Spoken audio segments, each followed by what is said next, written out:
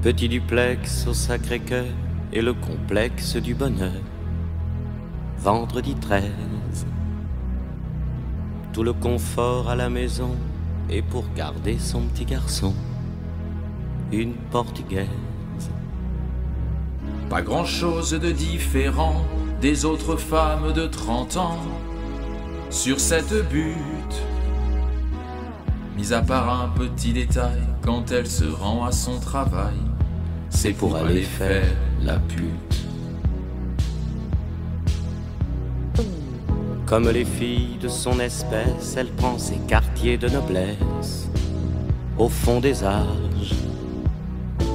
Ses collègues sont en vérité de petites sœurs de charité, pas davantage. Les malheureux au cœur blessé, tous les amoureux délaissés, ceux qui débutent, les paumés de la société, compagnons de la timidité, vont trouver l'amour chez les putes. Comme beaucoup de ses compagnes, elle est venue de sa campagne chercher fortune. Il y a des trésors plein la terre, mais elle assure qu'elle préfère ceux du bitume. Elle ne croit pas avoir son âme plus noire que celle des autres femmes que l'on culbute.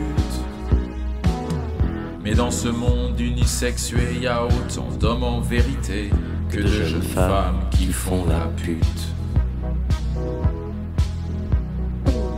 Le temps va vite, le temps court dans ce vieux métier de l'amour qui la fait vivre. Mais elle gagne assez d'argent et dans dix ans ou dans vingt ans, elle sera libre.